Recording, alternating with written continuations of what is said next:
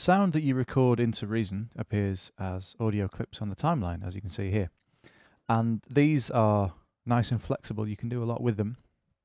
You will see, for example, that they have a volume envelope. It's this sort of white or grey line running across the top here. And if you select the middle of it, you can see it's got some handles. You can turn the track up or down. That's actually turning the clip up or down, not the track. That doesn't affect the fader. You see that in the info line here, its level changes. You can change that manually as well if you like. Uh, the two are linked. And the nice thing about that is that it means you can mix clips with different clip volume levels on the same track. So you don't have to, for example, automate this channel's fader up and down to uh, to have different volumes for different bits of sound on that track at different points in a song.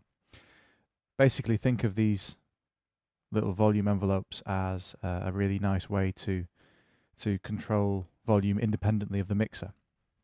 And of course, the mixer channel has its own setting as well. So that's sort of the the main uh, volume setting for the whole of this track. But within the track, clips can have different volumes. They can also fade in and out, which is really nice. If you move to the left or the right and drag these handles, you can do auto fades. And again, you could achieve the same thing with uh, mixer automation, but this is easier and quicker actually. And also it moves with the clip, which is really nice. If I was to move this clip, you can see the clip volume envelopes stay in exactly the same place. I just pressed Apple Z to undo that move because of course this clip is recorded in time. So,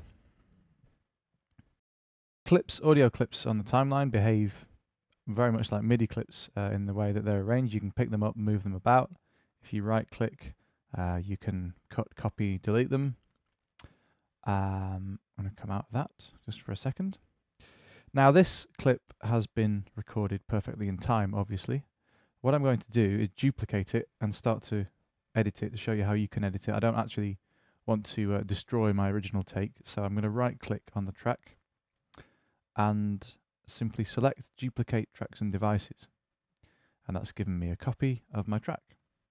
So I'm going to pick this copy up. I'm going to drag it up a little bit.